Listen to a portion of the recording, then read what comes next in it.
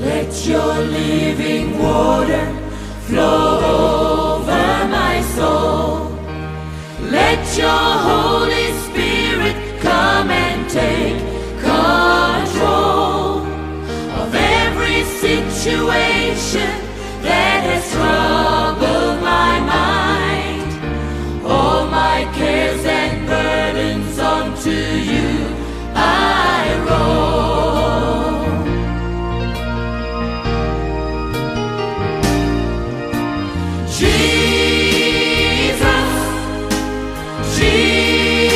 Jesus.